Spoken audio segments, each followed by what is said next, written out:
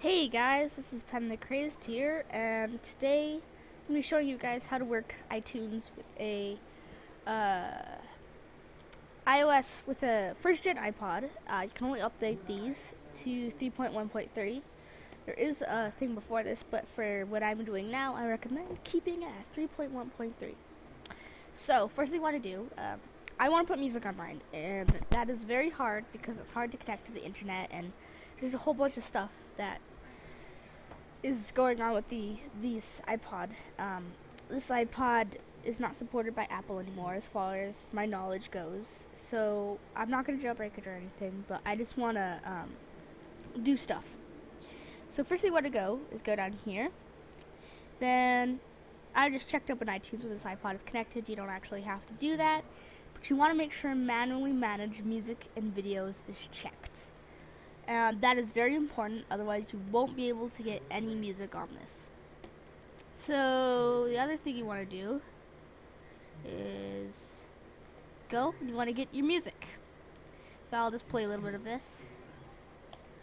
Uh, so you want to get your music, and the best way I've found, or the easiest, is this.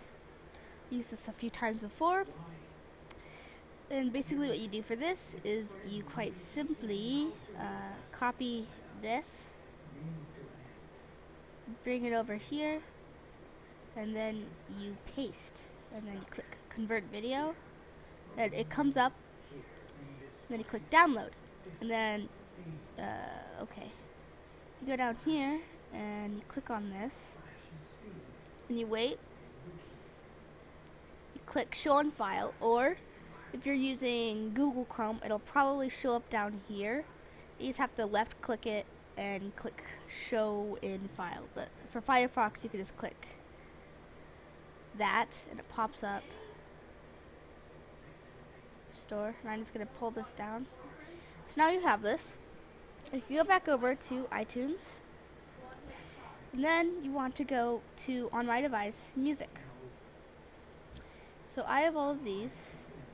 Then you can make playlists too. So let's go to Fab Electro Music. Lots of songs I like.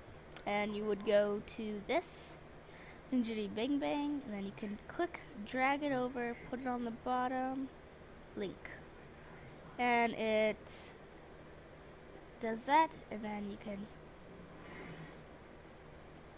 uh, it's playing.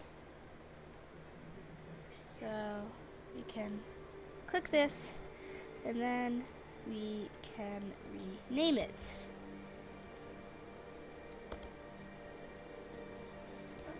And so that's what I want to name mine. So just click out of it in there and it that's oh, all you need to do.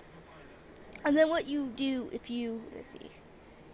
Oops, so oh, audio's getting close. And this is what you do if you want to add playlists. There's a settings, so you don't want to do that, and you just go here, add new playlist, and that's what you do. And I just gotta, yeah. And so that is how you add things to your iPod. Uh, thank you guys for watching. Uh, subscribe, like. I'm not asking you to, but it'd be very, very cool if you did. Um, thank you guys, and I'll see you later.